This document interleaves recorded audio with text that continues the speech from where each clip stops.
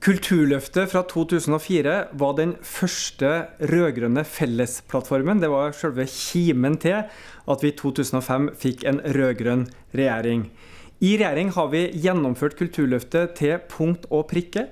Det viktigste målet, at vi skal nå 1% av statsbudsjettet til kultur innen 2014, er vi i rute med.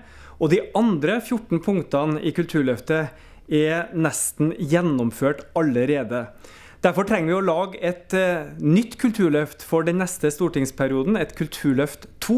Det inviterer vi deg og alle andre kulturvenner, både folk som er i kulturlivet, eller alle dem som er opptatt av et godt kulturtilbud, om å være med og utforme. Gi dine innspill, bruk denne nettsida, vær med i de diskusjonene som skal gå framover, om hvordan en fortsatt rød-grønn regjering skal gi et historisk kulturløft fram til 2014. Hittil har vi økt kulturbudsjettene med 2 milliarder kroner, men vi skal fortsette i årene som kommer, etter vi har vunnet valget i september.